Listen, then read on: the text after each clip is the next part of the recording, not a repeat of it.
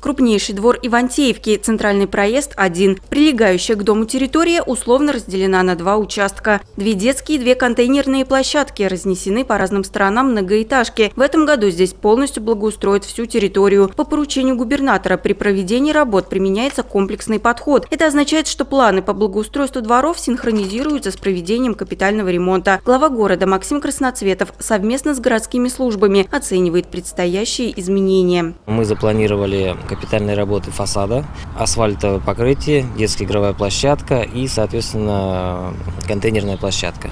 В дворе также предусмотрят места под парковку, модернизируют освещение и установят информационные стенды. Ежегодно в нашем городе благоустраивают не менее 10% от общего количества дворов. В этом году в программе участвуют 11 дворов.